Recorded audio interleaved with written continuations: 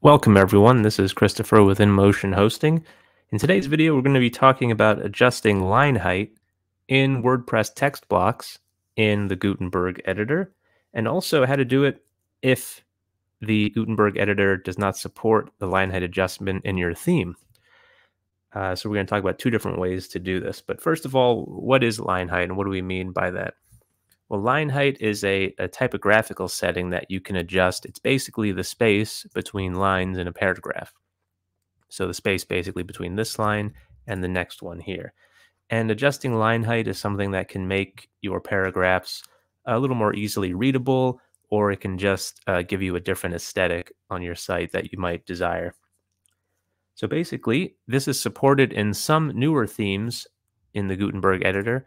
All you have to do is, uh, while uh, selecting or highlighting or, or basically working with a certain text block, you can click the typography settings here under the block settings, and then just click line height, and you can see you can increase that line height by quite a bit, and you can also decrease it.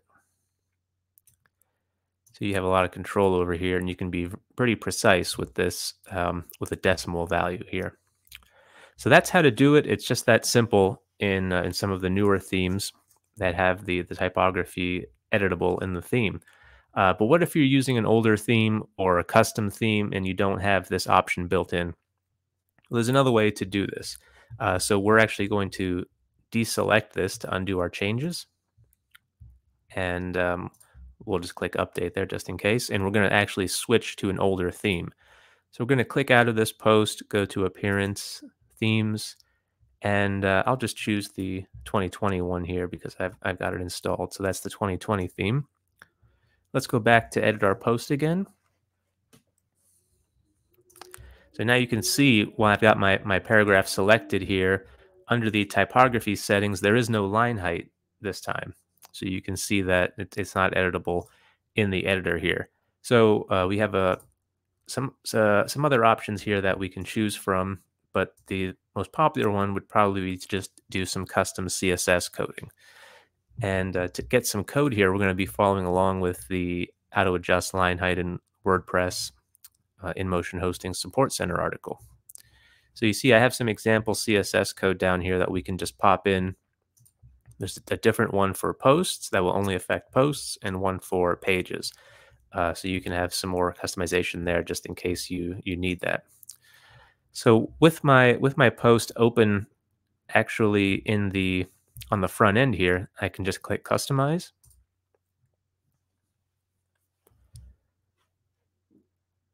And you'll see there's an option here for additional CSS. So now I'm going to pop some code here and you can see what'll happen. I'm just going to copy it.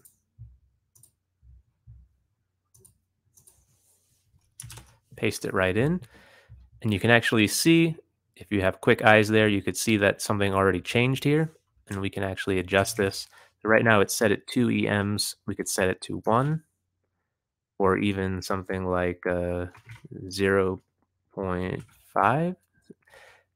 Uh, but 2 look nice, so we can keep that. That's almost like double spacing. Or you can make it even bigger. You can also use pixel values. 100 pixels, for example. That's too big, I think. 50.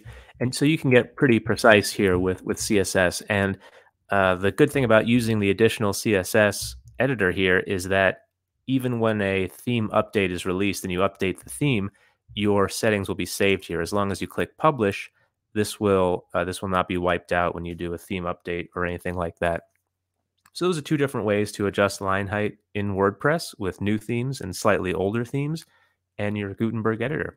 If you have any uh, questions or comments, feel free to leave them below. Feel free to like the video or subscribe for more videos and to be notified when we have new stuff coming out. Thanks for watching. I'll see you next time. Check out our InMotion Hosting Support Center for help with your website. We provide thousands of step by step guides, videos, and much more to lead you towards making your online project a successful one. You can find us at www.inmotionhosting.com/support.